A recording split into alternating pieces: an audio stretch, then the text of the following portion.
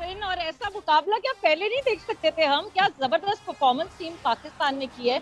अ, मुझे तो ऐसा लगता है मोहम्मद हारिस जो है वो एक लकी चाँद की तरह है। मगर यहाँ पे अदील मेरे साथ एक फैमिली मौजूद है और वो का बच्चा मौजूद है जिसको क्लासन ने शॉट मारा और उस बच्चे के जो है वो बॉल लगी थी। तो मैं उनको यहाँ पे बुलाना चाहूँगी और उनसे बात भी करना चाहूँगी। आए आइए।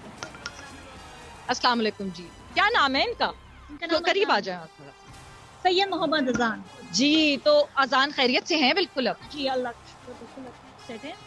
हाँ। लगी इनको ज़ोर सार बॉल लेकिन बट क्या मतलब आप बिल्कुल आगे बैठे हुए थे स्टैंड्स में तो वैसे स्टैंड पे सेकंड रोड सेकंड रो में ढूंढ के बॉल जो है वो छोटे इतनी सी कमर मिल गई बॉल को जाने के लिए। नकीली नकीली इनको हेड पे हाँ। हाँ। अच्छा आप लोग हैं किधर से? आगे तो आए थोड़ा सा आगे। हाँ। जी। आप नहीं बट जनरली यहाँ कहाँ रहे? यहाँ हम लोग कैमरा से खास तौर पे ये वाला मैच देखने आए थे। हाँ।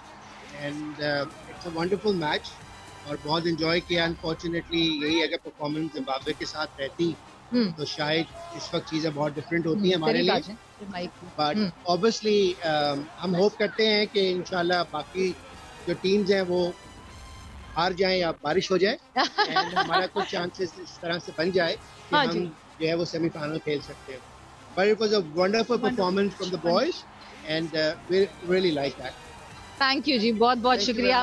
गुड लक अजलान बाय तो जी ये फैमिली मेरे साथ मौजूद थी और अदिल आपके दोस्त भी हैं ये बाय अच्छा मेरे दोस्त भी हैं। ओके चलें फाइन मेरे मेरे दोस्त पूरी दुनिया में दुनिया में फैले हुए हैं but good to know that good to know बात है जी।